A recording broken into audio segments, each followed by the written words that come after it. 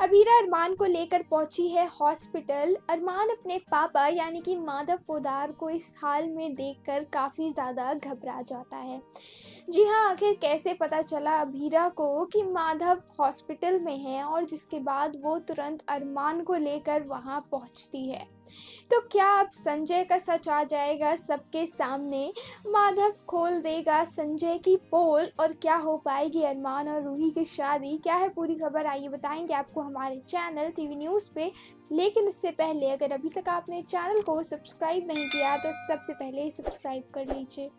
ये रिश्ता क्या कहलाता है कि आने वाले एपिसोड में आप देखने वाले हैं कि किस तरीके से अबीरा के हाथ में फ्रैक्चर हो जाता है। जी हाँ छोटी मोटी चोट लग जाती है, जिसके लिए अरमान उसे हॉस्पिटल लेकर जाता है।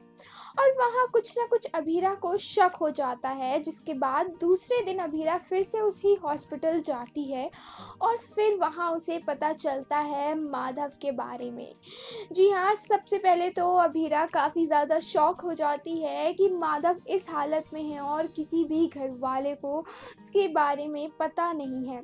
जिसके बाद वो तुरंत अरमान को फ़ोन लगाती है। अरमान रूही के साथ होता है और वो अभीरा का नंबर देखती है। जब रूही तो वो काफ़ी ज़्यादा गुस्से में आती है और वहाँ से उठ के चली जाती है।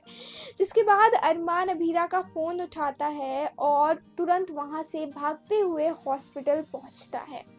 हॉस्पिटल में अरमान और अभीरा जब माधव को इस हालत में देखते हैं तो अरमान काफ़ी ज़्यादा घबरा जाता है। जैसा कि आप सभी जानते हैं, अरमान अपने फैमिली को लेकर काफ़ी ज़्यादा प्रोटेक्टिव है।